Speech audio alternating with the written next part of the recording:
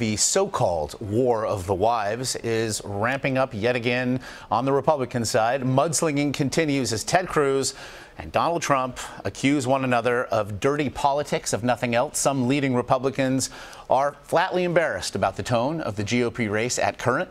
Major Garrett has the latest from Washington. This story is garbage. It is tabloid smear, and it came from Donald Trump and his henchmen. Ted Cruz spent the weekend on offense, accusing longtime Trump confidant Roger Stone of planting a National Enquirer story alleging Cruz has a history of infidelity.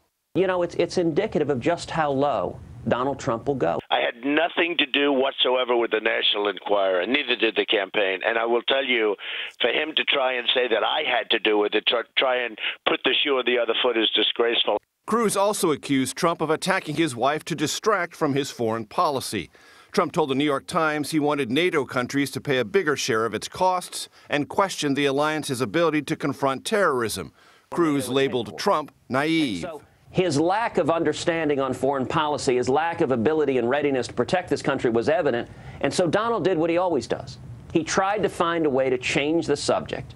There's even some controversy in the delegate hunt. In Louisiana, Trump won the state by nearly 11,000 votes, but Cruz could walk away with 10 more delegates adding five Marco Rubio delegates and five unbound delegates. On Twitter, Trump threatened to sue.